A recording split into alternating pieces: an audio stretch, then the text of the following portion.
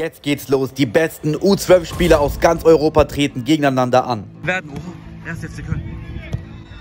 Guter. Die besten 10- und 11-Jährigen aus 20 verschiedenen Ländern nehmen an diesem Turnier hier in Izmir teil. Auch diverse Ex-Profis sind vor Ort und schauen sich das Turnier an. Wie diese Kinder hier Fußball spielen, einfach nur unglaublich. Macht das Plus weg, um es nicht zu verpassen.